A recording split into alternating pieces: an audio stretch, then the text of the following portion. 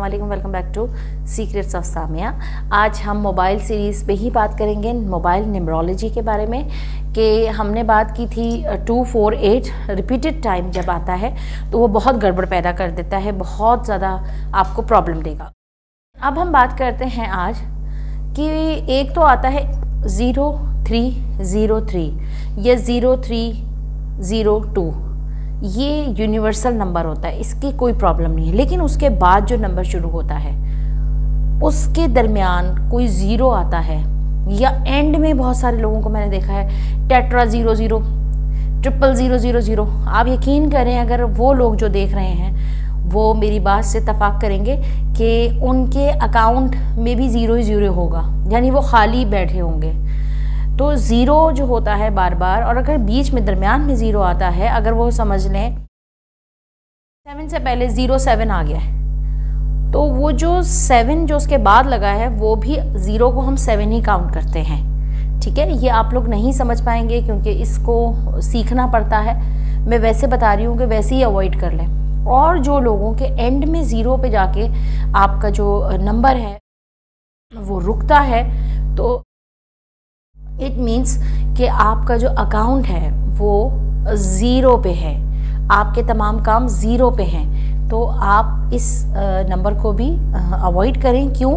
क्योंकि twenty twenty three two zero two three तो इसमें भी ज़ीरो आ रहा है। वैसे तो सिफ़र का कोई वो नहीं होता मायने। लेकिन टेलीफोन नंबर के एंड में ज़ीरो ज़ीरो आना अच्छा नहीं होता।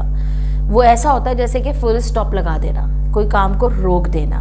तो इस जो है, इस नंबर को फ़ौर आप छोड़ दीजिए। अगर आप नहीं छोड़ सकते तो इसको इनकमिंग पे रखें और एक नया नंबर लें आउट गोइंग पे और वो नंबर कोशिश करें जो टोटल करने पे आपका फ्रेंडली नंबर हो, आपके लिए लकी नंबर हो या आपका एंजल नंबर हो। उस नंबर पे आइए, फिर आप देखिएगा कि कुछ ही जो है महीनों में कुछ लोगों को डेढ़ महीने में ही एक्टिव हो जाता है, आपके साथ वो वाइब्रेशन जो है वो जुड़ जाती हैं कुछ लोगों को तीन महीने में। लेकिन रिज़ल्ट आए हैं, लोगों के रिज़ल्ट आए हैं। कुछ लोग जो मानते नहीं थे, आज वो मान रहे हैं क्योंकि नंबर की वाइब्रेशन हमारे साथ साथ होती है, चाहे वो हाउस नंबर हो, चाहे वो मोबाइल नंबर हो। तो इन चीज़ों को आप ध्यान में रखते रहिए तो आप लोगों को बहुत ज़्यादा बेनिफिट मिलेगा।